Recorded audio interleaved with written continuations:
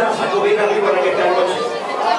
Esto es algo simbólico, pero la víbora le molesta esto. Así que luego me voy aquí. Alaba la gloria de Jehová. Voy a decir a sus ojos. Y cuando le diga a usted que la sacuda, usted la va a sacudir con toda la fuerza. Es tiempo que